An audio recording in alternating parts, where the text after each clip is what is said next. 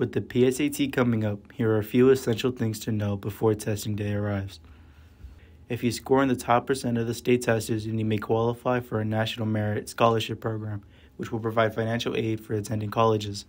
Students who are not 10th graders must register by scanning the QR code of the PSAT registration posters around the school or by visiting Canvas under announcements for the link. Be sure to bring a fully charged laptop and pencil.